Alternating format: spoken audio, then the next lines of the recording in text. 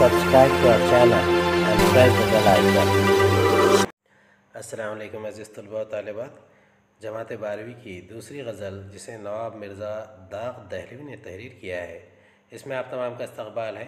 उम्मीद है आपको पिछले वीडियो पसंद आए होंगे। अगर हमारे वीडियो पसंद आते हैं तो इसे लाइक कीजिए, शेयर कीजिए और हमारे चैनल को सब्सक्राइब कीजिए। इन इसी तरीके से हम तमाम वीडियो बनाते रहेंगे और आपकी जितनी हो सके मदद करते रहेंगे। इस वीडियो को आखिर तक देखिए और इसे इस गज़ल को अच्छी तरह समझने की कोशिश कीजिए। पहले जानते हैं जान पहचान। पहले सबसे शुरुआत में नवाब मिर्ज़ा दाग दहलवी कौन है? इनके बारे में जानते हैं। दाग दहलवी का नाम नवाब मिर्ज़ा था।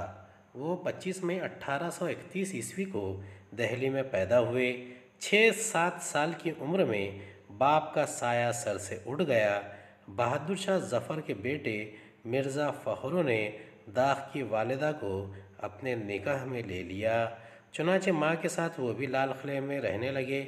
यहीं उनकी तालीम व तरबियत हुई। लाल किले के शायराना फ़िज़ा में शायरी शुरू की और ज़ोक़ के शागिर्द हुए। उस्ताद के फैज़ तरबियत और अपनी मशक़ सुखन से थोड़े ही अरसे में उन्होंने उस्तादी का दर्जा हासिल कर लिया। अट्ठारह सौ छप्पन ईस्वी में मिर्ज़ा फ़खरू का इंतकाल हो गया। इसलिए दाग को अपनी वालदा के साथ खिला छोड़ना पड़ा। अट्ठारह ईस्वी के हंगामे के बाद उन्होंने दहली को खैरबाद कहा और रामपुर चले गए। वाली रामपुर नवाब यूसुफ़ अली ख़ान ने दाग की बड़ी कदर मंजिलत की और इन्हें वली अहद कलब अली ख़ां का मुसाहब ख़ास मुकर कर दिया। कलब अली ख़ां के इंतकाल के बाद दाग हैदराबाद चले गए वहाँ भी उनको हाथों हाथ लिया गया। निज़ाम हैदराबाद मीर महबूब अली ने इन्हें अपनी उस्तादी का शर्फ बख्शा। बड़ी तनख्वाह के अलावा वक्ता फ़वक्ता इनाम से भी नवाजे गए। हैदराबाद ही में 17 मार्च 1905 ईस्वी को वफ़ात पाई। दाग की तसानीफ़ में चार दीवान, गुलजार दाग, आफ्ताब दाग, महताब दाग और यादगार दाग। एक मसनवी फरियाद दाग और इनके अलावा चंद खसायद और रुबायात शामिल हैं। दिल्ली की तबाही पर इनका शहर आशोब भी मशहूर है। दाग की शायरी की मुमताज़ खसूसियात ज़बान का इस्तेमाल है। सादगी व शीरीनी, तरन्नम व रवानी इनकी ज़बान की बुनियादी खसूसियात है। इन्होंने मुहावरात का इस्तेमाल नहायत बरजस्ता अंदाज में किया है।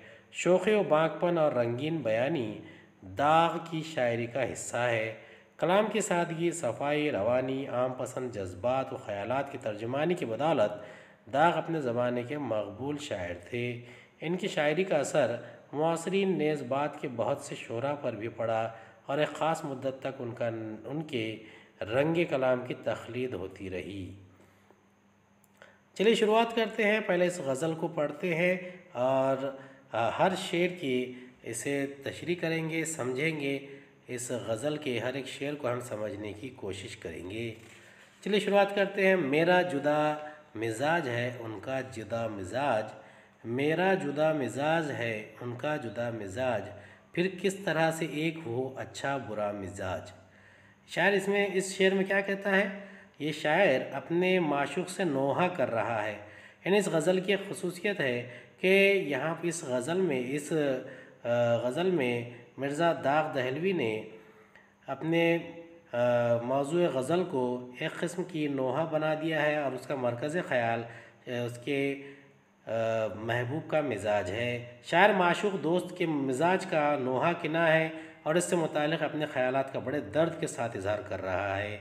इस शेर में, यानी इस मतले के शेर में उसने दोस्त के मिजाज और अपने मिजाज के बाहमी तजाद को सरसरी तौर पर पेश करने के बाद फैसला कन अंदाज में कहता है, दोनों के अच्छे बुरे मिजाज में इम्तजाज कैसे हो सकता है?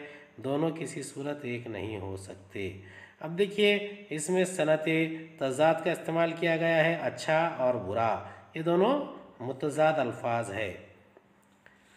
मेरा जुदा मिजाज है, उनका जुदा मिजाज। फिर किस तरह से एक हो अच्छा बुरा मिजाज? चलिए दूसरा शेर देखते हैं, इसे समझते हैं।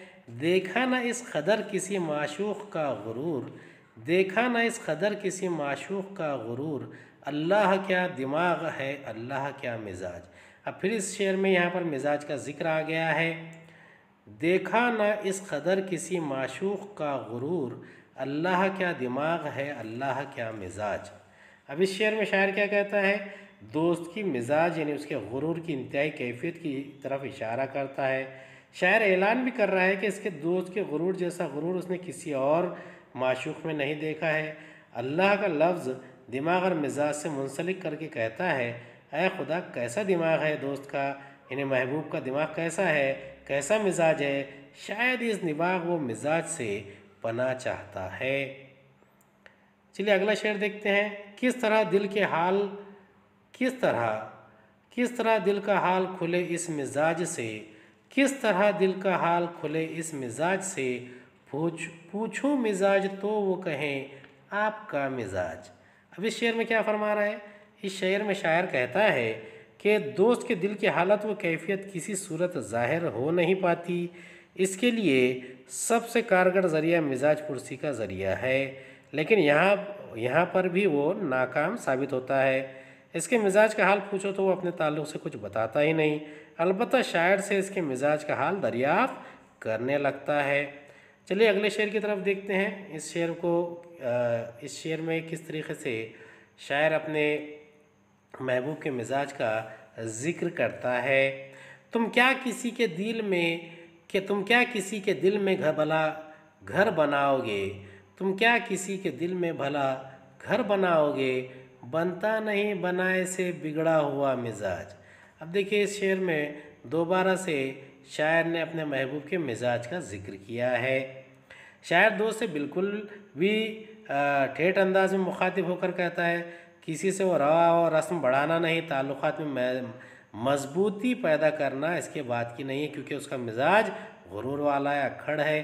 क्योंकि इसके लिए ख्वा खुद में काबिलियतें और सलाहियतें पैदा करना पड़ती है। यहाँ तो हालत ये है कि अगर दोस्त का मिजाज एक बार बिगड़ जाए तो फिर उस, वो दुरुस्त नहीं कर पाता। बड़ी मुश्किल होती है। इस किस्म के मिजाज वालों को लोग पसंद नहीं करते, अपने करीब नहीं होने देते। इस सूरत में भी ताल्लुक़ को वसी करना, बढ़ाना बहुत ही मुश्किल हो जाता है। चलिए अगला शेर देखते हैं। तुमको किसी से बात की बर्दाश्त ही नहीं। अब इस शेर में क्या कह रहा है शायर? शायर कहता है कि तुमको किसी, तुमको ज़रा सी बात की बर्दाश्त ही नहीं, ऐसा अखल खुरा भी है, किस काम का मिजाज? यानी इस शेर में शायर क्या अखल खुरा क्या होता है? अखल खुरा होता है, अखड़ मिजाज, सख्त मिजाज, तुंद मिजाज, उसे अखल खुरा कहते हैं।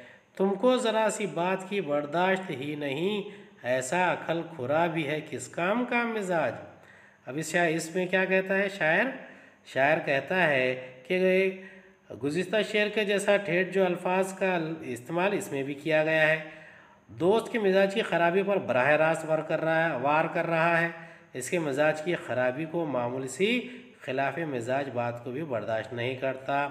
इसके मिजाज को अक्खड़ और सख्त कहते हुए वो कहता है कि किसी भी काम का नहीं है। इस शेर से शायर दूसरे दोस्त के तय बेजारी ज़ाहिर करता है। अब देखिए, अगले शेर में देखते हैं, पाला पड़े कहीं ना किसी बद मिजाज से। अब ये पाला पड़ना क्या होता है? पाला पड़ना ये मुकाबला होना किसी के, यानी एक किस्म का ये मुहावरा होता है ना, पाला पड़ना। उसी तरीके से यहाँ इस्तेमाल किया गया है। पाला पड़े कहीं ना किसी बद मिजाज से, यानी किसी बद मिजाज से आपको पाला नहीं पड़ना चाहिए, मुलाकात नहीं होना चाहिए, मुकाबला नहीं होना चाहिए। हर वक्त देखते हैं मिजाज आशना। मिजाज। अब यहाँ पर क्या कह रहा है? पाला पड़े कहीं ना किसी बद मिजाज से, हर वक्त देखते हैं मिजाज आशना मिजाज। अब मिजाज आशना कौन होते हैं? जो मिजाज को जानने वाले हैं। अब इस शेर में शायर क्या कहता है? वो इस शेर में कहता है कि दोस्त को नसीहत कर रहा है कि वो बद मिजाजी से बाज आ जाए, अपने मिजाज को दुरुस्त करे। समाज व माशरे में इसके लिए कोई जगह नहीं है। कोई भी अक्लमंद आदमी इसे पसंद नहीं करता। हर कोई चाहता है कि इस वो किसी बद मिजाज से उसका पाला ना पड़े, इससे कोई काम ना पड़े। खसूस तबीयत शनास लोग जो मिजाज आशना लोग होते हैं, वो इनकी बातों का बड़ा ख्याल रखते हैं। गौर व फ़िक्र के बाद किसी ताल्लुक़ को इस्तवार करते हैं। अगर दोस्त ने इस जानब तवज्जो नहीं दी तो यकीनन वो ज़िंदगी में बड़े नुकसान का सामना कर कर सकता है। चलिए अब अगला शेर देखते हैं। कल उनका सामना जो हुआ खैर हो गई कल उनका सामना जो हुआ खैर हो गई, बदली हुई निगाह थी, बदला हुआ मिजाज। अब इस शेर में शायर ने अपने रंग ही बदल दिया है। इस शेर में शायर क्या कहता है? दोस्त की जो मतुल मिजाजी है, यानी उसका जो बदलता हुआ रूप है, घड़ी में तोला, घड़ी में माशाक, यानी कि थोड़ी थोड़ी हालत को थोड़ी थोड़ी देर में उसका मिजाज बदलता रहता है। तो ऐसे मौके पे शायर क्या कहता है? शायर कहता है कि गनीमत हुई कि इस अताब से बच गया, वरना इसके इरादे तो बड़े ही ख़तरनाक थे। शायर क्या कहता है? खैर हो गई, यानी खैर हो जाना, खैर हो गई, यानी मुहावरा है ये, खैर होना, बेहतर होना। तो उस ढंग से वो क्या कह रहा है कि मुहिम बात है यहाँ पर वो दोस्त के मिजाज की सही सलामत बच निकल आया, इसकी आफत का शिकार नहीं हुआ। एक नज़र में तो इसमें तंज दिखाई देता है, दूसरे नज़र में वो शायर अपने दोस्त के अताब का शिकार भी होता है तो इस शेर में तस्वीर साफ़ हो जाती है। अब अगले शेर में क्या कहता है? अगले शेर में शायर कहता है, सच है खुदा के दीन में क्या दखल हो सके? एक दाग का मिजाज है, एक आप का मिजाज। अब ये जो आखिरी शेर है, इस शेर में क्या कहता है शायर? सच है खुदा की दीन में क्या दखल हो सके? एक दाग का मिजाज है, एक आप का मिजाज। यानी शायर अपने मिजाज और दोस्त के मिजाज के अख्तिलाफ़ और तजात खुदा की देन करार देता है। इसे अल्लाह के, अल्लाह ताला के फ़ैसले के मुताबिक करार देता है। अल्लाह ताला हमारा मालिक व आका है। हम सब उसके बंदे और ग़ुलाम हैं। वो जो चाहे कर सकता है। इसमें हमारी मर्ज़ी का गुज़र ख़तई नहीं है। उफ़ करने की इजाज़त नहीं है। किसी की मजाल नहीं कि वह अल्लाह के फ़ैसले को मानने से इनकार कर दे। मिसरा सानी में दो मरतबा लफ्ज़ एक इस्तेमाल करके शायर ने अपने मिजाज को बिल्कुल वाज तौर पर सही बताया है और दोस्त के मिजाज को मनफी तौर पर पेश किया है। वैसे पूरी ही गज़ल में यहाँ पर दोस्त के मिजाज को मनफी पेश किया गया है।